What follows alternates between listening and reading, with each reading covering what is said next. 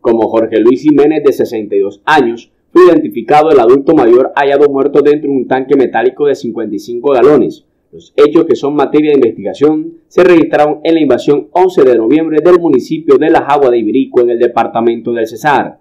Se supo que la víctima era natural de Pueblo Nuevo, Córdoba, pero residía desde hace tiempo en la población de La Jagua.